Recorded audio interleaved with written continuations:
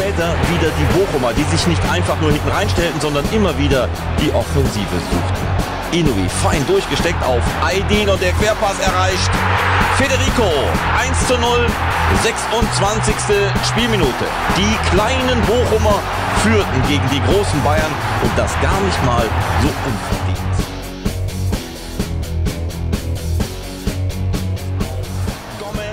Der wieder auf Toni Groß und dann ist es passiert. Das 1 zu 1, 52. Minute. Alles hatte sich bereits auf die Verlängerung eingerichtet. Da spielte Dabrowski diesen katastrophalen Pass. Lahm auf Ribery und dann der Antritt des Franzosen Franck Ribery. Nicht aufzuhalten, Arjen Robben 2-1. Der Holländer war 90 Minuten nur sporadisch zu sehen. Jetzt aber im entscheidenden Moment war er zur Stelle und macht das 2 zu 1. Brillant auch hier die Vorbereitung von Franck Ribéry.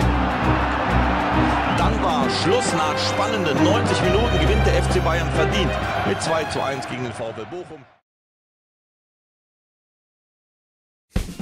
Und Bayern. Auch der VfL wird sich freuen. VfL Bochum. Heimspiel. Bochum gegen wen? Carsten? Bayern. Da haben wir sie. Der VfL Bochum. Zweimal im Pokalendspiel, zweimal verloren und jetzt gegen den Rekordpokalsieger. Ich kann nur sorgen, wenn wir jetzt nach Bayern München müssen, dann. Äh Ich glaube, wir sind klar der Favorit.